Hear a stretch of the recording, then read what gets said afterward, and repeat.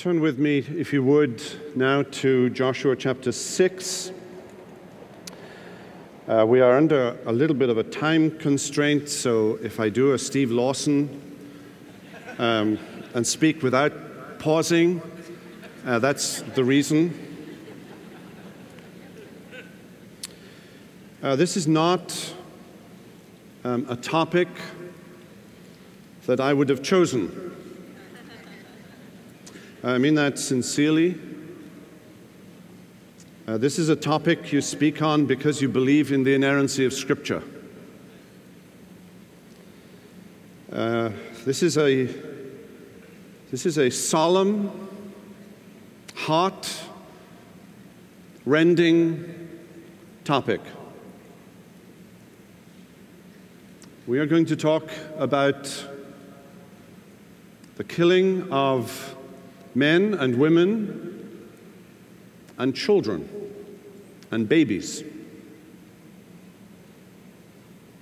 These are the passages in Scripture which make some people believe that the Bible cannot possibly be the inerrant Word of God. Turn with me to Joshua chapter 6. I'm going to read the passage fairly quickly. Now, Jericho was shut up inside and outside because of the people of Israel. None went out and none came in. And the Lord said to Joshua, See, I have given Jericho into your hand with its king and mighty men of valor. You shall march around the city, all the men of war going around the city once. Thus, shall you do for six days.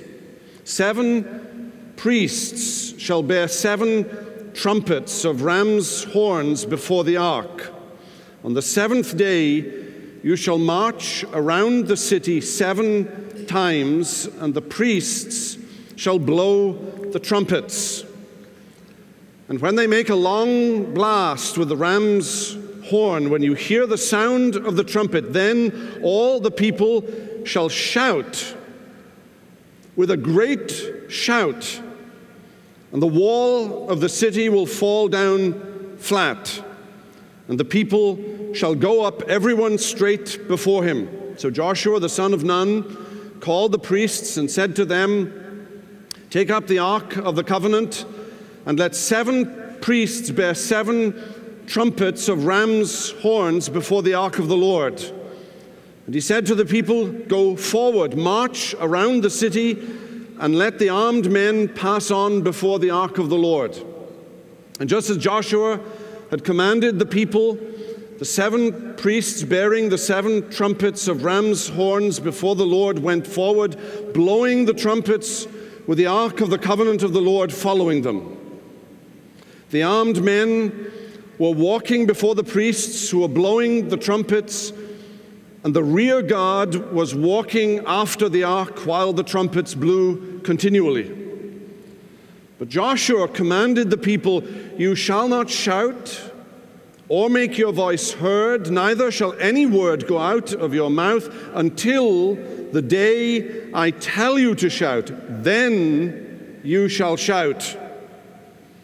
So he caused the ark of the Lord to circle the city, going about it once and they came into the camp and spent the night in the camp. Then Joshua rose early in the morning, and priests took up the ark of the Lord. And the seven priests bearing the seven trumpets of ram's horns before the ark of the Lord walked on, and they blew the trumpets continually. And the armed men were walking before them, and the rear guard was walking after the ark of the Lord while the trumpets blew continually. And the second day they marched around the city once and returned into the camp. So they did for six days. On the seventh day, they rose early at the dawn of the day and marched around the city in the same manner seven times. It was only on that day that they marched around the city seven times And at the seventh time, when the priests had blown the trumpets, Joshua said to the people, Shout, for the Lord has given you the city. And the city and all that is within it shall be devoted to the Lord for destruction.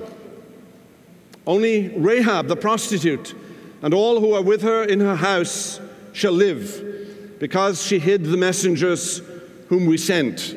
But you, keep yourselves from the things devoted to destruction, lest when you have devoted them, you take any of the devoted things and make the camp of Israel a thing for destruction and bring trouble upon it.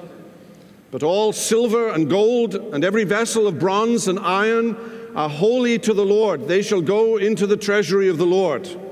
So the people shouted, and the trumpets were blown.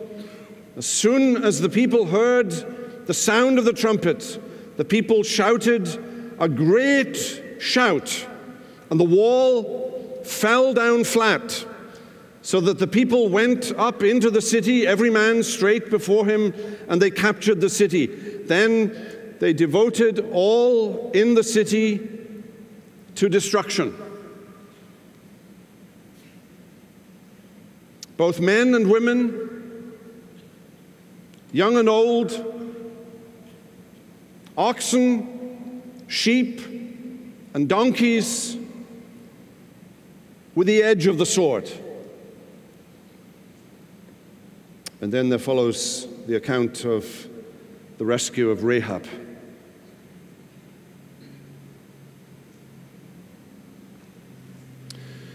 This narrative falls into four aspects. First of all, the encounter at the end of chapter 5 of Joshua with the captain of the Lord's army, this mysterious figure. And remember, he has a sword in his hand. And Joshua asks him, Are you with us or against us? And then in verse 2 of chapter 6, and the Lord, capital letters, the covenant name of God, and the Lord said to Joshua, and the Lord there is presumably the captain of the Lord of hosts, this figure that we have seen at the end of chapter 5. This is, this is a theophany. This is an appearance of God in human form. And the Lord said to Joshua, See, I have given Jericho into your hand and its king and mighty men of valor. You shall march around the city. And he gives him these instructions. Joshua wants to know Are you with us or against us. And this commander, this theophany, this appearance of God says to him, Stop trying to use me. Submit to me. I am not your co pilot. And Joshua has to take the city and Joshua's concern is how is God going to fit into my purpose? But it's the wrong question. Joshua must ask himself this question How am I going to fit into God's purpose? The real battle of Jericho was in Joshua's heart. Will the will of Joshua submit to the will of God?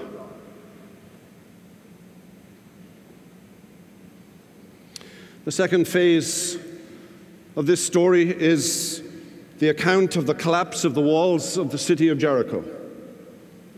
A classic siege of a walled city with gates closed, which presumably would have involved catapults and scaling ladders and fire arrows and other contemporary implements of war against a walled city. But instead, they are to walk around the city once in silence for six days. And then on the seventh day, with the Ark of the Covenant and with the priests of God, they're to walk around the city seven times. And when the trumpet is blown, the trumpet that signaled the year of Jubilee and of release from captivity, they were to shout with a great shout. And the walls of the city would come tumbling down.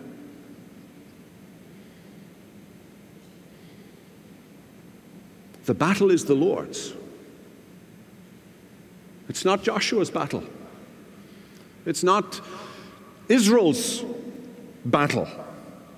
God takes the weak and foolish and despised things of the world to confound the mighty. And then there's a third aspect of this story the salvation of Rahab and her family. She is saved because she hid the spies. Verse 25. Her hiding of the spies was the evidence of her faith and trust in Joshua's God. And because she believed, even in this policy of total annihilation, there was mercy. There was mercy on account of faith faith in the living God. And then, more pertinently, for our question this morning if God is good or since God is good, how can He command holy war? Because once those walls came down, they were to go into that city and they were to show, apart from Rahab and her family, they were to show no mercy. Women and men and children and babies and animals. They were all of them to be slain. Let's not uh, romanticize this story. Let's not glamorize this story. This story is about blood and disembowelment and decapitation with ancient, brutal, by our standards, implements of war. If God is good, or since God is good, how can He command the killing of little children and babies? Now, the Pentateuch has set this up for us as a just act on God's part, as a a righteous act on God's part. There's been a clue back in the narrative of Abraham in Genesis 15 that Abraham was to be promised the land of Israel, but he would not possess so much as a square inch of it. Because the iniquity of the Amorites was not yet full. The iniquity of the Amorites who dwelt in the land of Canaan was not yet full. And when, presumably, the iniquity of the Amorites is full, when ungodliness reaches a certain level, God would devote them to destruction. Joshua and his men would be the implements in that policy of cherem, holy war, devoted to destruction. Now, let me talk about three things here. First of all, let me talk about the concept of cherem, the concept of holy war. Secondly, I want to talk about the ethics of holy war. And then, thirdly, I want us to look at the ethics as it specifically applies in the Old Testament. First of all, let me say something about the concept of, of holy war. Uh, I'm passing over Israel's defensive wars. I'm passing over the expansionist wars under the reign of David, for example. Samuel had warned that in asking for a king, a king would then want a standing army, not just a defensive army, but an army that would have something to do. And it would escalate war in Israel. I'm, I'm passing over all of that. I'm, I'm focusing exclusively now on holy war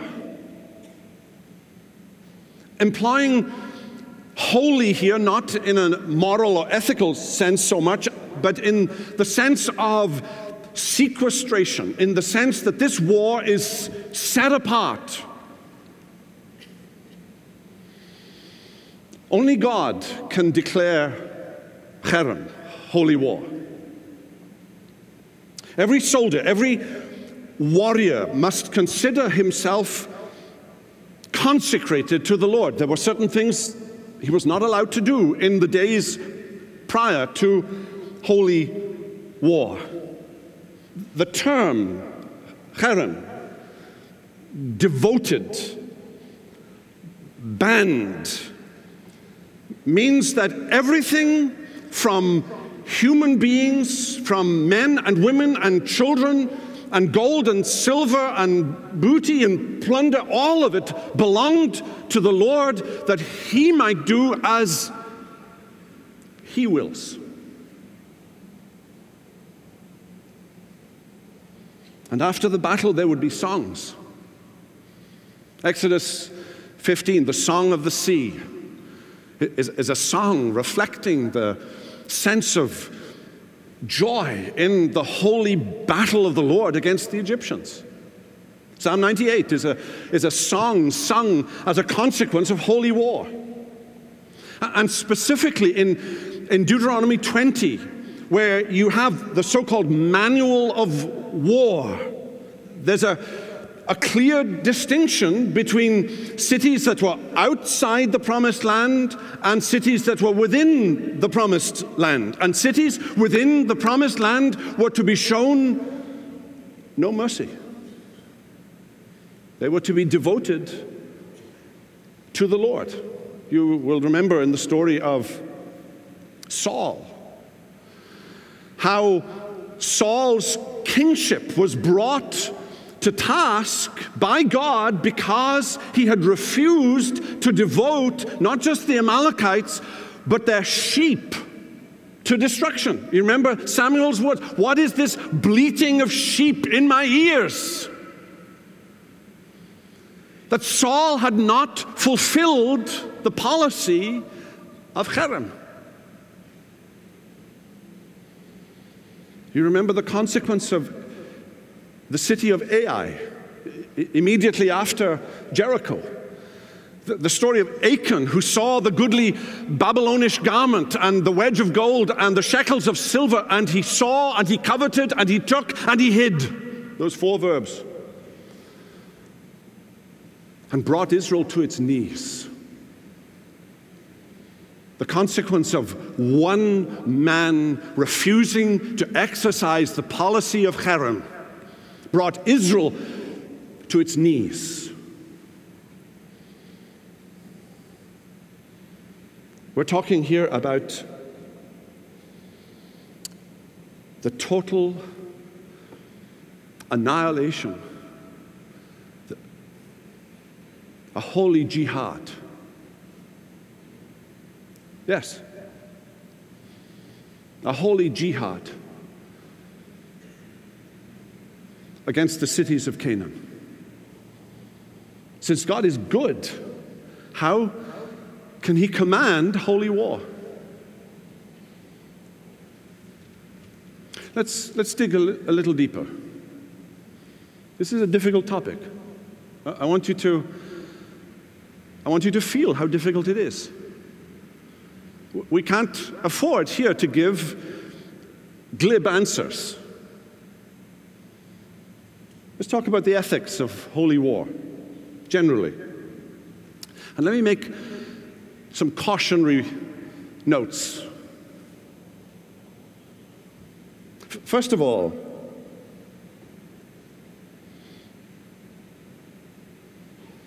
Our, our doctrine of inerrancy, our belief that all of Scripture, from Genesis to Revelation, is the infallible, inerrant Word of God.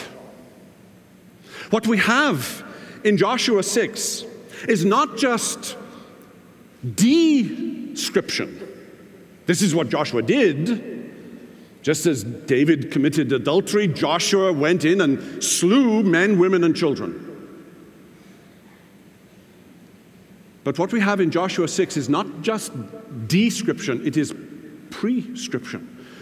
Joshua did this because God commanded it. This wasn't a policy of Joshua's. This wasn't a policy of, of fledgling Israel, which had a sense of its own importance and its own election and justified, therefore, its actions in war against the Canaanites because they were the special people of God. No, it's, it's more than that. It's much more than that. This is what God commands. This is what Jesus commands. Gentle Jesus, meek and mild, who, who blesses little children, who weeps because a friend has died. This is, this is the policy of Jesus, of holy jihad of complete annihilation, except on the basis of faith for Rahab and her family, complete annihilation and destruction.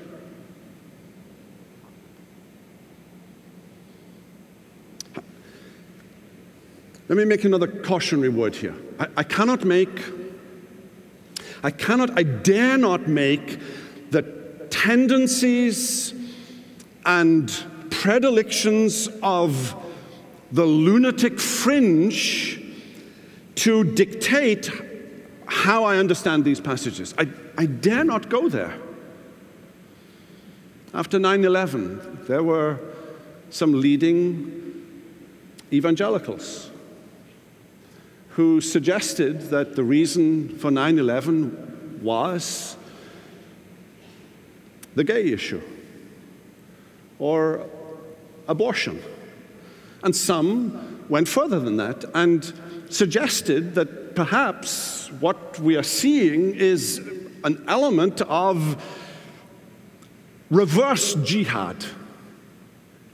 This is, this is God exercising an extermination policy. One of my institution's former students is uh, this morning in prison I think here in the state of Florida, because he believed it was ethical to shoot and kill an abortionist and his friend.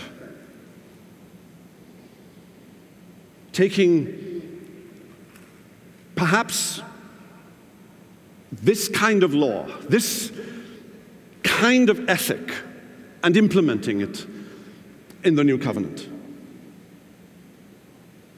Now, let me make a third cautionary word here. The question of how Cherem in the Old Testament, in the conquest of Canaan in particular, the question of how does that relate in the new covenant is a legitimate question. Some, by advocating a, a Christian America, an America that is perhaps akin to Israel as a special nation, as a theocracy, in which old covenant theocratic laws for Israel can be applied to the modern state.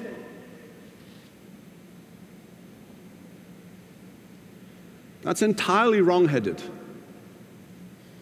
And I dismiss it absolutely.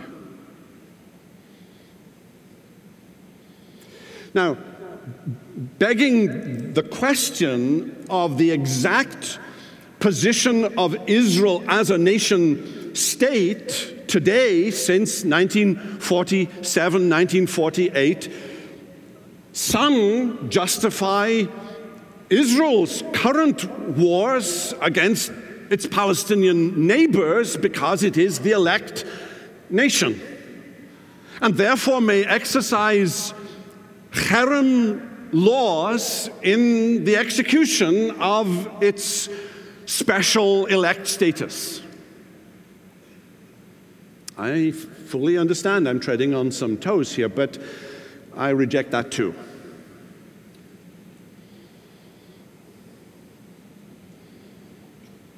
It is a legitimate application to spiritualize the cherem laws of Israel and see in Ephesians 6 that we are to exercise the sword of the Spirit and the shield of faith against God's enemies.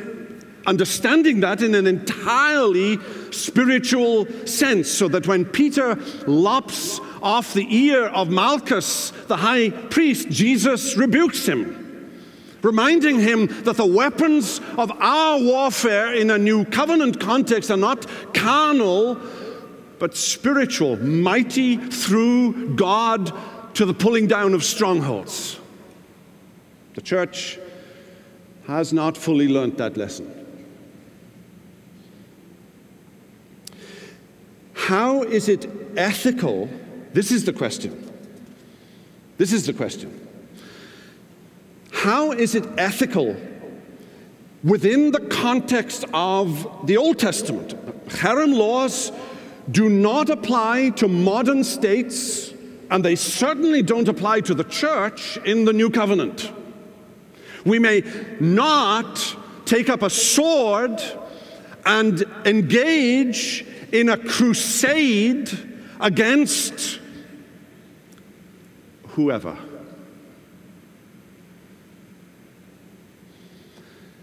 There is a radical disjunction between cherem laws as it applies to the Old Testament state of Israel and what may apply to the modern state and what may apply to the church in the New Covenant.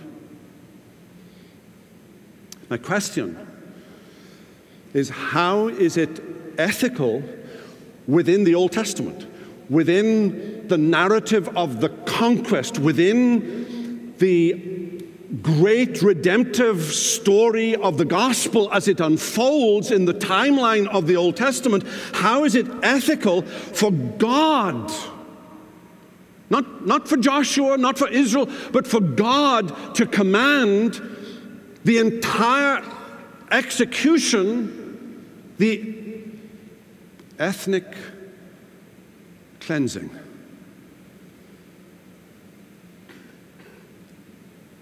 Of Canaan. And that not to be genocide.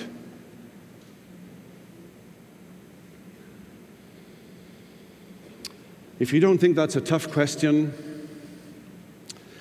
you're not in the same world as me. That is a really tough question. Here's, here's the Bible answer. It's Genesis 15, 16. The iniquity of the Amorites is not yet full. Abraham had to exercise restraint because, in the providence of God, in his common grace towards the Amorites, there must be a filling up of the iniquity of the Amorites before the wrath of God is poured out in deluge upon them.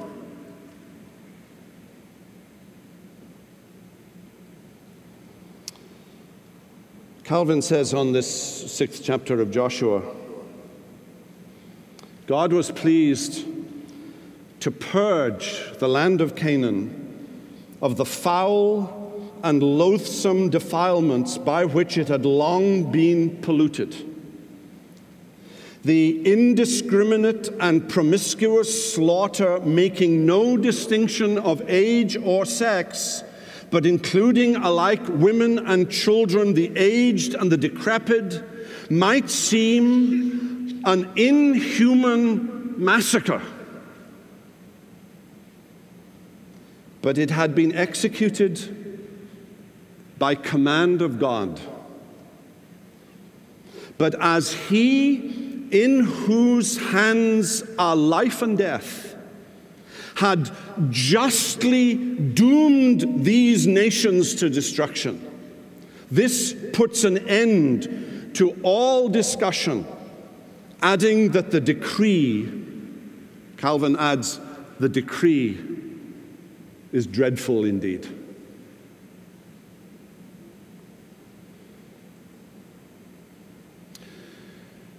Now, let me ask you a question. At the time of the conquest, the iniquity of the Amorites is full. Were they, were they any more sinful than Southern California? Or Florida? Or Orlando? Do you think that you might find sins in Canaan that you could not find in modern America or this city?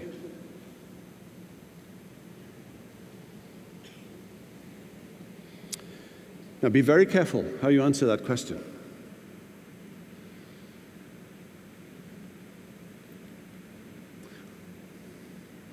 Why was it fair then for God to exercise cherem on the Canaanites when he evidently does not do so on us?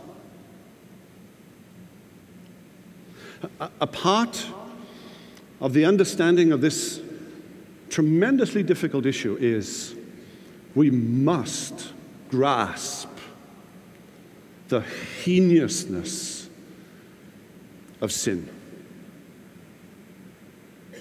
If, if you have a light view of sin, if, if you have a tolerant view of sin, if you can look at sin and just walk away, if you can hear the name of Jesus blasphemed and it not cut you to the very core of your being, you're not going to understand this. That God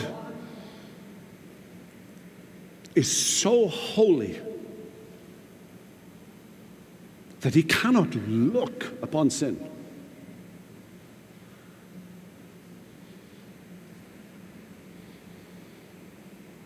God is, God is so holy. Listen, he, he cannot simply will you to be saved. Just flick his fingers and will you to salvation. He has to send his own son, his only son. He only has one son. And in order to save the likes of you and me, he does not spare him. He's, he spared Abraham's son. He spared him. But he did not spare his own son. Part of the reason we find this ethically difficult to understand is because we have such a low view of sin. Let, let, me, let me say to you what's happening here in Joshua 6? What's, what's happening in these cherem laws?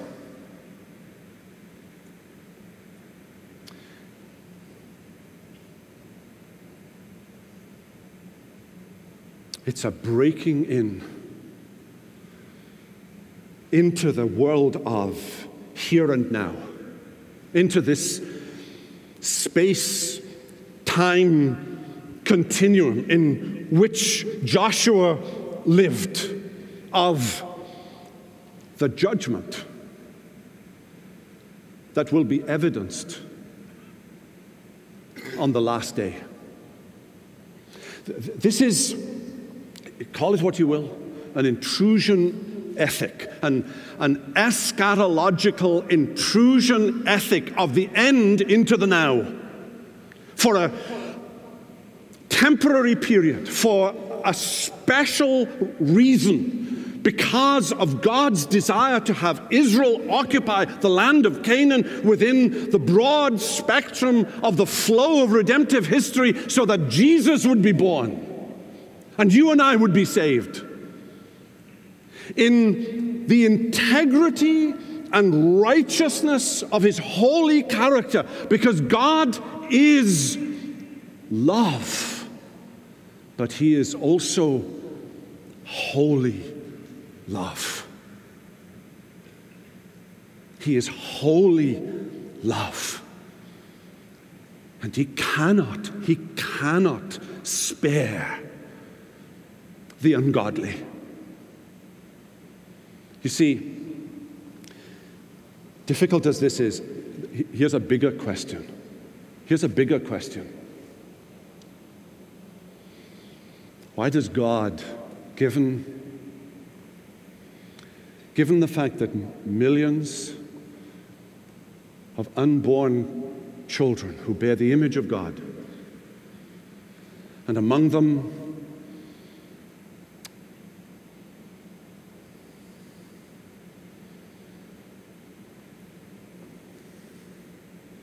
Why does God not come and judge us? Not, not the oil spill in the Gulf. That's child's play. I don't mean to diminish it in any way, but that's, that's child's play. Why does God not open up the heavens and just consume this nation? Because, my friends, if He were to do so, he would be altogether just. And if you don't believe that, you don't believe in the God of Scripture. Because, listen, my friends, listen. There is coming a day when Jesus will come again on the clouds of heaven. And he will, he will separate, separate, having, having raised his, his own to himself. He will separate one to his left and one to his right, and he will, he will say to hundreds of millions of people and women and children Depart from me. Depart from me into everlasting fire. Into hell. Into the place of weeping and gnashing of teeth. And my friends, what happened in Canaan will be nothing by comparison. Read Revelation 18 and the destruction of Babylon. The earthly city in all its pomp and show and arrogance. My friends, do you know what cherem tells us? That the love of God is a holy love and a righteous love. And it's what every single one of us deserves. And the only safe place in all the universe this morning is to be in Jesus Christ, to be in union with Jesus Christ, to own and acknowledge Him as Lord and Savior and prophet and priest and King. Because apart from Him, that destruction that you see in Jericho. It's just a proleptic glimpse of what awaits those who are outside of Jesus. What, a, what an enormous blessing it is that today is a day of grace a day when we can call upon the name of the Lord and be saved. Let's pray. Father, we thank you. Thank you for these difficult passages because they show us a little glimpse of who you really are. That it is a fearful thing to fall into the hands of the Almighty God and not be covered by the blood of Jesus. We thank you, Lord, that in Christ our sins, though they are red like crimson, in Christ they are as white as snow. Now bless this time to us, write these solemn things upon our hearts, and give us a holy reverence and a biblical fear of you. For Jesus' sake, amen.